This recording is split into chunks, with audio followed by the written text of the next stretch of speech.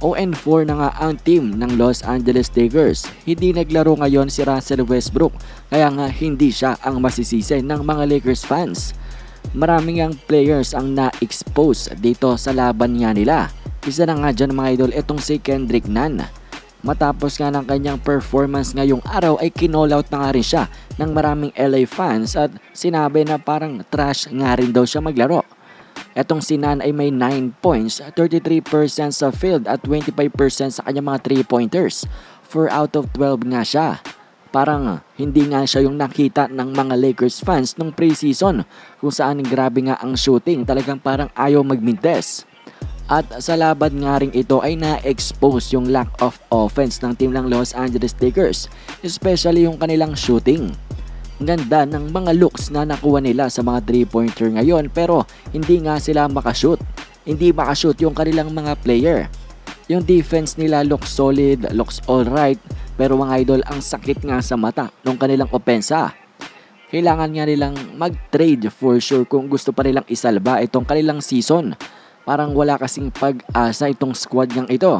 4 games in na nga tayo sa NBA season at walang tulong nga yung supporting cast ng Lakers, yung kanilang mga role players.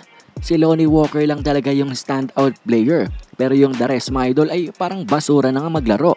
Yung opensa talaga yung kanilang number one problem. Bukod nga kay Lebron, bukod kay AD, kay Lonnie Walker, ay wala nang ang ibang scorer.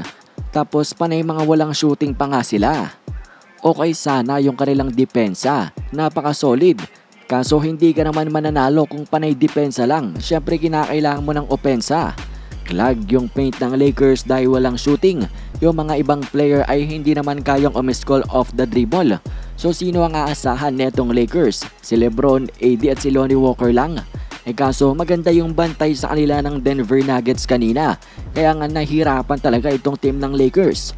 Tapos ganda pa nga nung adjustment ng Nuggets sa second half. Binilisan nga nila yung kanilang paglalaro. Binilisan nila yung pace sa pamagitan nga ng mga long passes neto ni Nikola Jokic. Kaya't na-breakdown neto ni Jokic yung depensa ng Lakers at ayun, tuluyan na nga silang lumayo sa third quarter.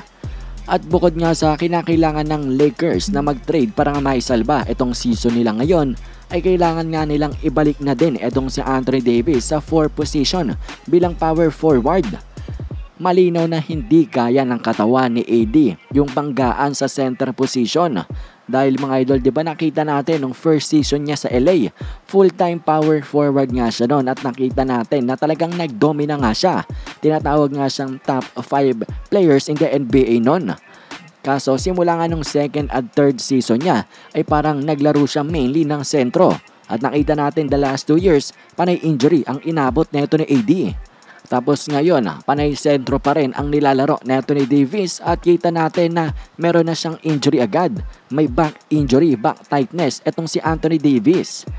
So yan lang naman ang aking mga obserbasyon sa laban nga ng Lakers at Nuggets kanina kailangan ng LA Lakers na mag-trade para maisalba ang kanilang season at kailangan na nga rin nilang ibalik itong si AD sa power forward.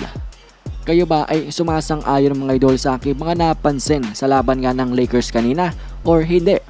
Kung meron kayong ibang opinion mga idol ay komento nyo lamang yan sa ating comment section.